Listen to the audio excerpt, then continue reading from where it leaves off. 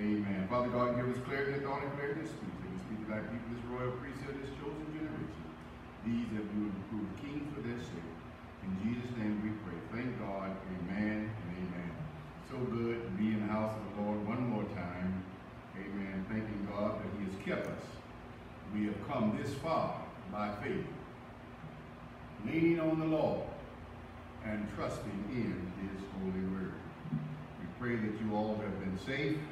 Amen.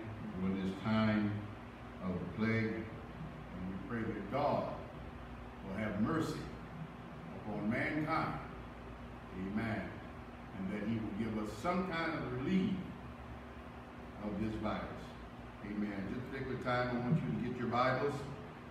We're going to the book of Philippians, the third chapter, verses 1 through 15. Thank God for Lady Harris who's with me today. Amen. She'll be reading Philippians chapter 3, verses 1 through 15. Finally, my brother, rejoice in the Lord to write the same things to you. To me, indeed, indeed, is not grievous, but for you it is sin. Beware of the dogs, beware of evil workers, beware of the concision, for we are the circumcision, which worship God in the Spirit and rejoice in Christ Jesus, and have no confidence in the flesh. Though I might also have confidence in the flesh, if any other man thinks that he hath whereof he might trust in the flesh, I the more. Circumcised the eighth day of the stock of Israel, of the tribe of Benjamin, a Hebrew of Hebrews, as touching the law, of Pharisees concerning zeal, persecuting the church, touching the righteousness which is in the law, blameless. But what things regained to me, whose I counted loss for Christ. Yea, doubtless, and I count all things for loss for the excellency of the knowledge of Christ Jesus, my Lord, for whom I have suffered the loss of all things, and who count them but dung, that I may might win Christ, and be found in him, not having my own righteousness of the law, but that which is through the faith of Christ, the righteousness which is of God by faith, that I may know him, and the power of his resurrection, and the fellowship of his suffering, being made conformable unto death, if by any means I might attain unto right resurrection of the dead, as though I had already attained, either whether already perfect, but I follow after, if that I may apprehend that for which also I am apprehended of Christ Jesus. Brethren, I count not myself to be apprehended, but this one thing I do, forgetting those things which are behind, and reaching forth into those things which are before. I press toward the mark for the prize of the high calling of God mm-hmm. in Christ Jesus. Let us therefore, as many as be perfect, be thus minded, and if anything ye be otherwise minded, God shall reveal even this unto you. God bless you. Thank you, First Lady.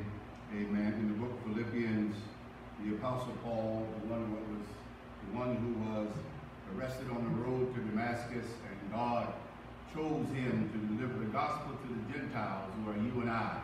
Amen. Of a loving Savior who loved us and who died for us. Amen. And in the book of Philippians, the third chapter, first one, it says, Finally, my brethren, rejoice in the Lord. One thing I want you to understand is whatever you do, don't lose your joy. Don't lose your joy in the Lord. Don't lose your trust in the Lord. The Bible says that we should lift up holy hands not only in the sanctuary, but we should bless the Lord at all times. And his praise should always and continually be in our mouth. Our soul should make a boast of the Lord, and the, humble should hear thereof and be glad. Oh, magnify the Lord with me. We should be at point in time that we would never lose our relationship and understanding who God is. And understanding that God has called us not only to live a holy life, but to be thankful for the things in which he has done for us. So Paul starts out this epistle saying, rejoice in the Lord. I want you to know when you lose your joy, you've lost everything. When you lose your joy, you've lost your hope. When you lose your joy, you've lost your faith. Because the joy of the Lord is your strength, knowing that God can do exceedingly and abundantly above all that we ask or think, according to the power that works with us. Jesus says unto us that we should have joy unspeakable and that full of glory. So Paul reminds you and I, the Christian, first of all, to not grievous to me to write this unto you. It should be in our DNA. Amen. We must always have our joy in the Lord. You may be at home during this pandemic, but get you some good music. Amen. Get you some people around within your household. Put on you some gospel music and begin to glorify and magnify God from the depths of your heart and your spirit. You cannot praise God, magnify God, and be sad at the same time. Amen. He tells us in this here, verse 2, beware of dogs, beware of the work of the, beware of the concision. Amen.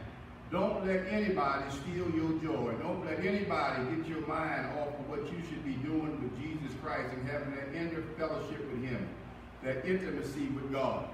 Amen. Everybody don't savor the things of God like you and I do.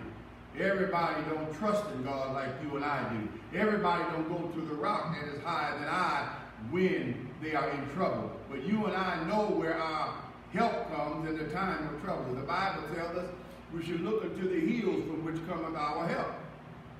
Our help comes from the Lord. Amen. For we are the circumcision which worship God in the Spirit and rejoice in Jesus Christ and have no confidence in the flesh.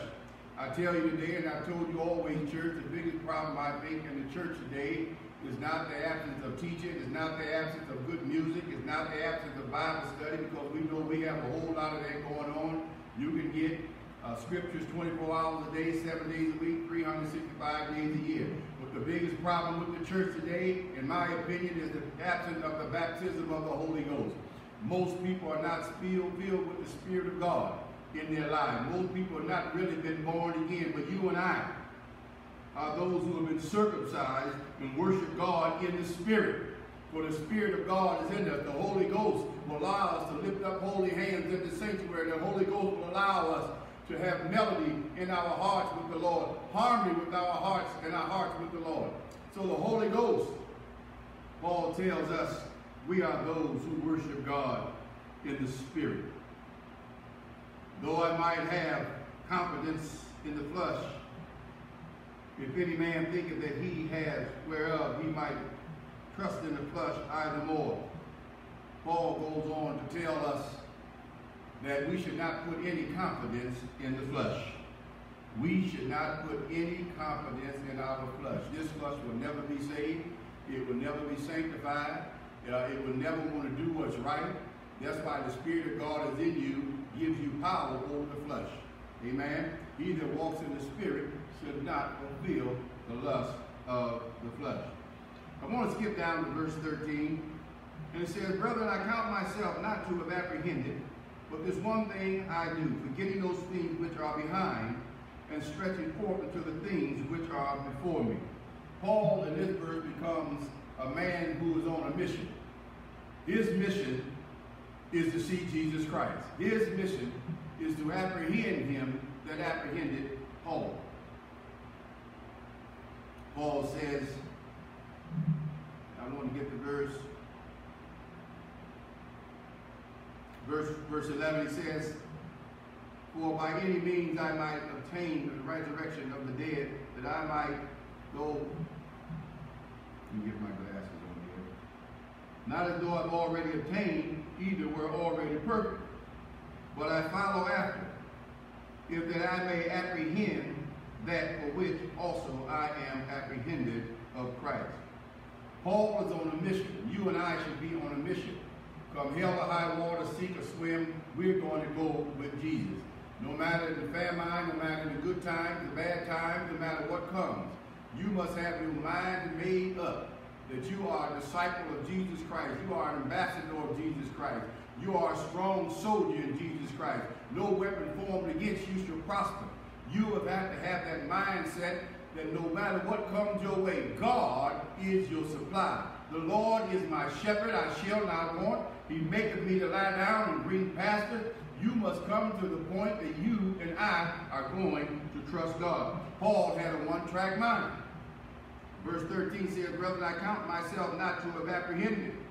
But this one thing I do, forgetting those things which are behind and reaching forth into the things which are before me. Paul says unto us and I want you to take strict attention to this here. Paul tells us we got to forget the things which are behind us. Yesterday is gone. And really tomorrow was not promised to you.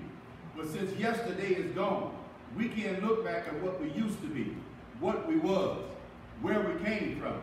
But we got to keep our mind focused on the prize. And the prize is salvation and eternal life in Jesus Christ. Paul in verse 5 says, he gives his, his pedigree of who he was.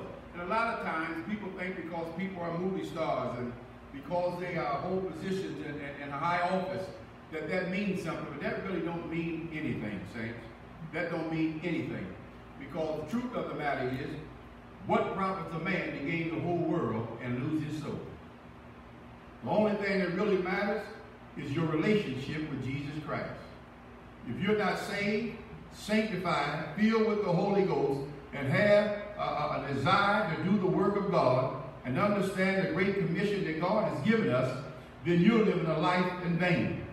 Jesus said, Many shall come to me in the last day and say unto me, Lord, Lord, have we not done many good works in your name? And he says, I never knew you. Depart from me, you workers of iniquity. I want to tell you something, saints. We got to stay laser focused. Our mind is be like, be like a flint rock. We have got to remain laser focused on seeking Jesus Christ. Keeping our garments clean. Because again, hell is a bad place to find out you made a mistake. A lot of people have a, a form of godliness, but deny the power of the Holy Ghost to live a holy life. We must live a holy life. We must be laser focused on winning souls for Jesus Christ. This is a great time in this pandemic time, through this plague time, for us to get ourselves together, seek God the more in prayer, seek God the more in our praise and our worship, take more time to go through the Bible, read some things out of the Bible, study the Bible, get an understanding of God, let God open up your understanding, your knowledge of the Word of God, draw close to God, and God will draw close to you. Paul said, I'm forgetting those things which are behind. I'm forgetting the fact that I was a Pharisee of Pharisees. Concerning the law, I was blameless. I'm forgetting all the things that I suffered for Christ. But I want to know him and the power of his resurrection and the fellowship of his suffering. If we live this life, if we live this life and there is no resurrection, we are most of all most miserable.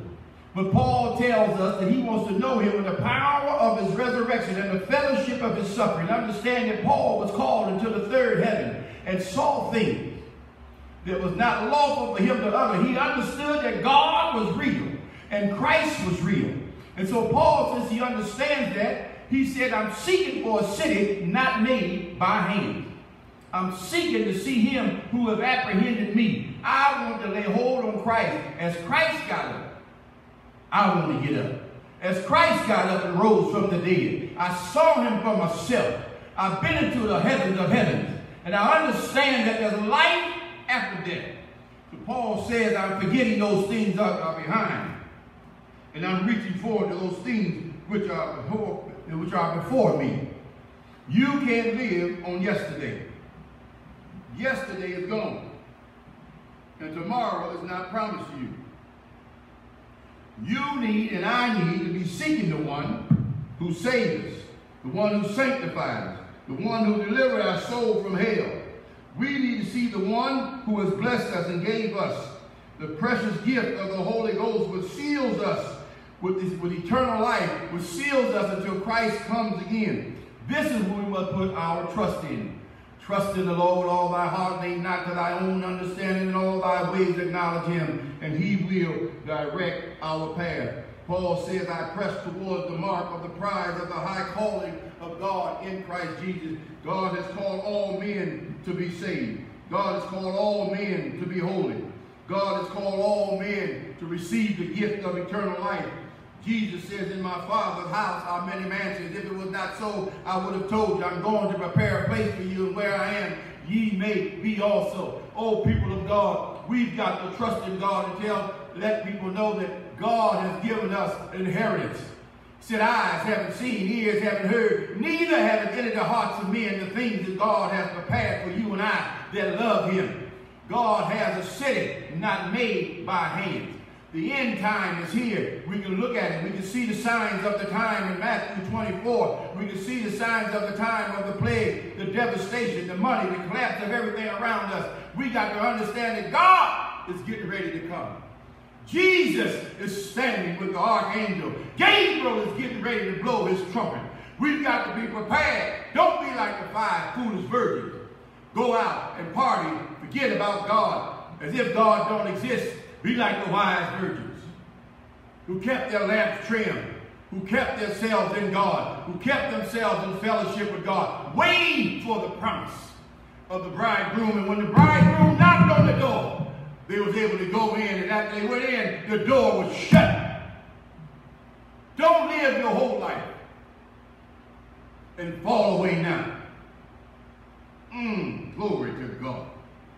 Paul said, I press towards the mark of the prize of the high calling of God in Christ Jesus. God has called us to be delivered from eternal separation from Him. Eternal separation from Him. And cast into the lake of fire to live and burn forever because of your lack of faith and trust and waiting on God. Said, Now let us therefore, as many be perfect, be thus minded. Paul is saying here, if you are a mature Christian, you really know God. Have this main mindset. Wait for the promise of the Father. For the dead in Christ shall rise first. O people of God, and we which are alive and remain shall be caught up to meet the Lord in the air. God has given us a time right here now to see that he is in control. We don't know whether we're going or coming. But my mind is fixed. My heart is made up. I'm going with Jesus. The world is all discombobulated. They're falling apart. They have no hope, but our hope is in Jesus Christ. Our hope is in our loving Savior, our Messiah, our deliverer, our waymaker, our soon coming King. So I tell you today, hold what you got. Hold what you got. Jesus is the Lamb of God, our Lord and our Savior, and our soon coming King. In these days, in these last few days that we have, we must fast even more. God has given us a time to fast and seek his face. If my people who are called by my name will humble themselves and pray and seek my face and turn from their wicked ways, then will I hear from heaven. If you're doing this here, the saints of God is praying, we all get together, God will have mercy on planet Earth. But take this time to pray more, to fast more, to seek God's face more, to keep on reading your Bible, fellowship with one another, call one another, encourage one another, hold on, for the end is soon to come. And God is ready to give every man, every man, every woman, according to the, to, to the power that's in them and the working of their hands, their gift of eternal life. John 3.16 says, For God so loved the world that he gave his only begotten Son, that whosoever believes in him should not perish, but have everlasting life. God bless you. God keep you until we come again. Don't go anywhere. I'll be right back. Amen. With some new update. Amen. As to the opening of the church. Some more information. God bless you, and I'll be right back.